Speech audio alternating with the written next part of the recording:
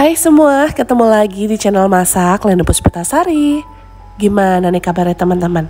Semoga kalian sehat selalu ya.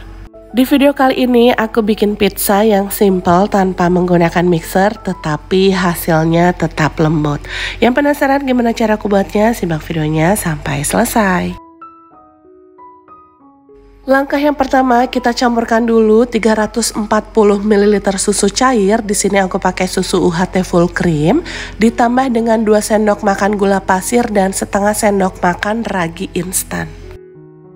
Ini kita aduk dulu sampai tercampur rata.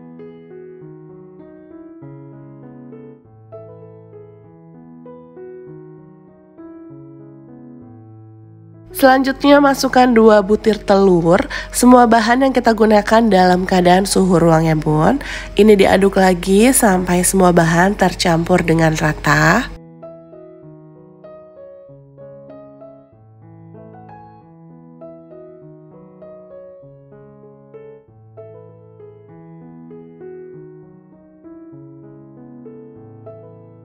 Selanjutnya kita masukkan 600 gram tepung terigu. Di sini aku pakai tepung terigu cakra atau protein tinggi. Dimasukkan secara bertahap dan diaduk dulu sampai tercampur.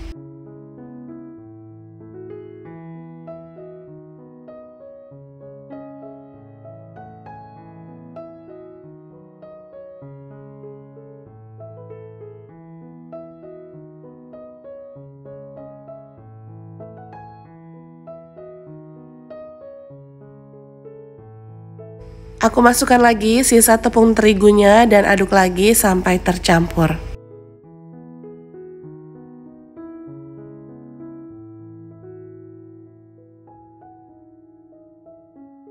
Adonannya sudah terasa berat bun, ini akan aku lanjut menguleninya menggunakan tangan. Tangan kita oles menggunakan sedikit minyak biar adonannya nggak lengket di tangan saat kita uleni.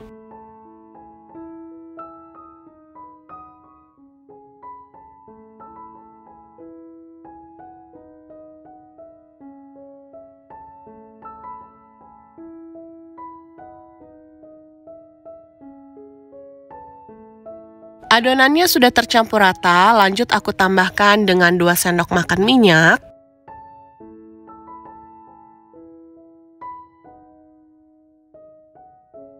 Tambahkan juga setengah sendok teh garam, kita uleni kembali sampai minyak dan garamnya menyatu dengan adonannya.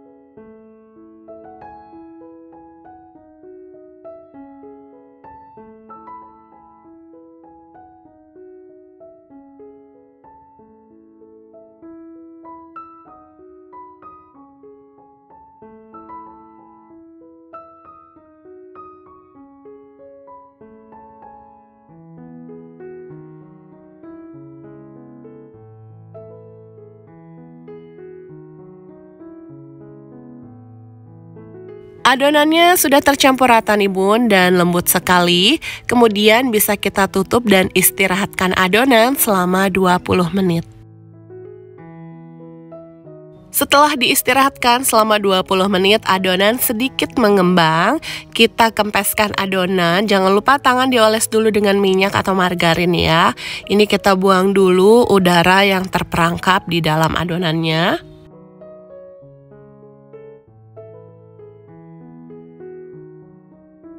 Selanjutnya adonan ini akan aku bagi menjadi empat bagian bun. Kalau mau ditimbang masing-masing berat adonannya 275 gram.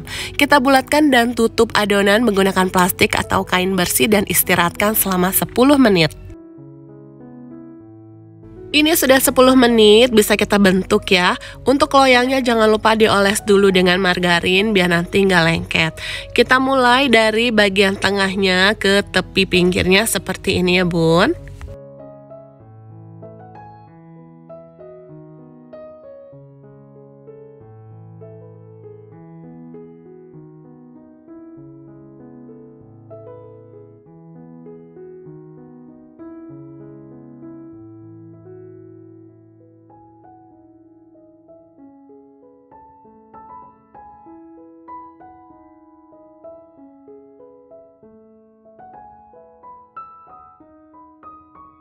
Biar nanti saat kita panggang tengahnya itu tidak mengembang, kita tusuk-tusuk menggunakan garpu seperti ini.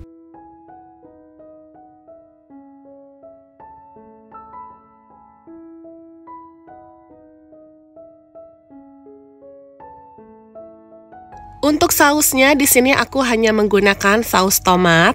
Kalau teman-teman mau ganti dengan saus barbecue, saus bolognese bisa aja. Silahkan sesuaikan dengan selera dan keinginan kalian masing-masing. Kita ratakan dulu sausnya. Kalau teman-teman mau sedikit pedas bisa ditambahkan dengan sedikit saus sambal.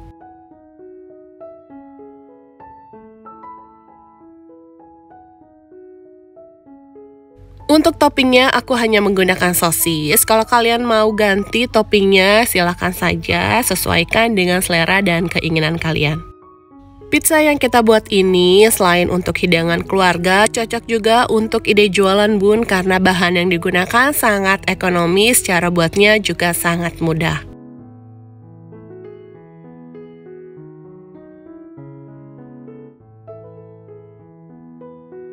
Di sini aku tambahkan juga dengan irisan bawang bombay. Kalau teman-teman mau tambahkan paprika atau nanas juga boleh.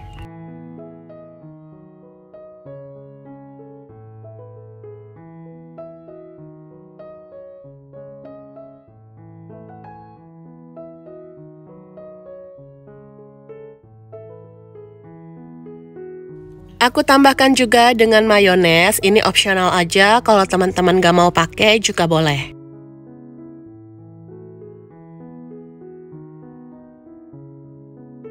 Selanjutnya aku tambahkan dengan irisan keju mozzarella,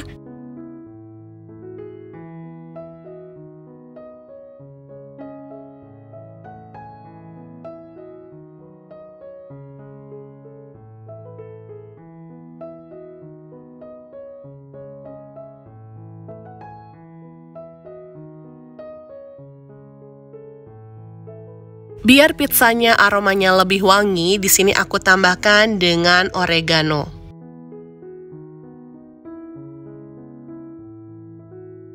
Pizzanya sudah siap kita panggang ya bun. Jangan lupa ovennya dipanaskan sebelum digunakan.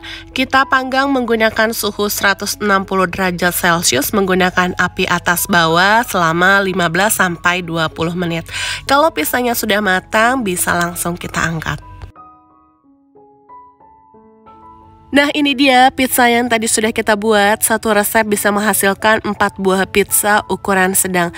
3 buah pizza aku buat seperti ini Dan satu buah pizza aku bikin bentuk donat seperti ini bun Sesuai request anakku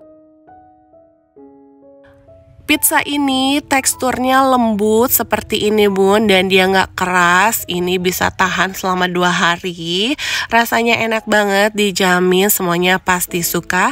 Cara buatnya juga mudah. Cocok banget untuk ide jualan karena bahan yang digunakan sangat ekonomis. Tinggal kalian kemas sesuaikan dengan kebutuhan kalian. Gimana bun? Gampang kan cara buatnya? Semoga video ini bisa memberikan inspirasi dan manfaat untuk kalian semua ya.